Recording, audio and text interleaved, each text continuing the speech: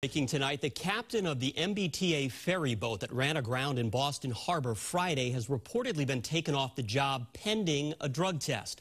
The Boston Globe is reporting that the captain, whose name has not been disclosed, was removed from his post yesterday after the boat he was operating struck rocks while it was heading from Hull to Boston during the morning commute. Four people were injured and the Coast Guard is investigating.